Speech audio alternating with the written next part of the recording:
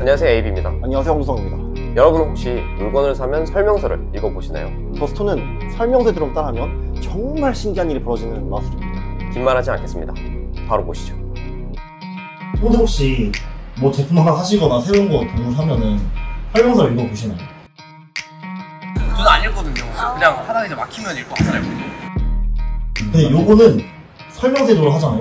진짜 신기한 게 있거든요. 진짜. 제가 그 전에 이거 드릴 거거든요.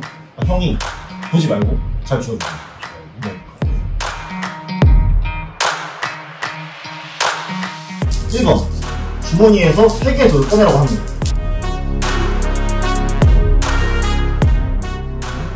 꺼낸 돌중 한개 선택해주세요.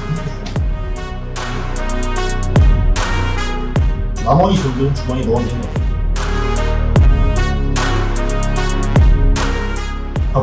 4번 선택하신 돌을 항상 지워주세요.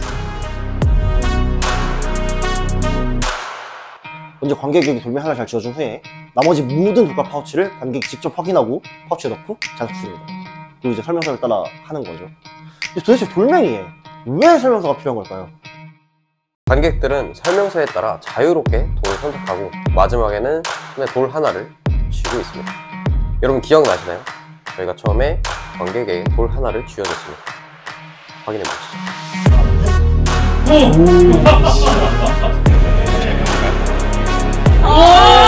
하나 둘 셋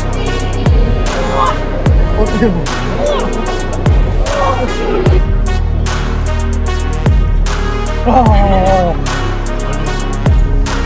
하잖아요.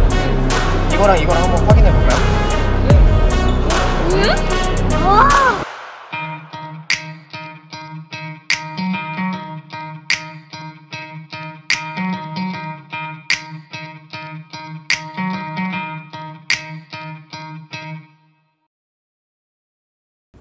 아 맞다 이거 그것도 했나? 뭔데요? 봐봐 타노스 돌이 안돼!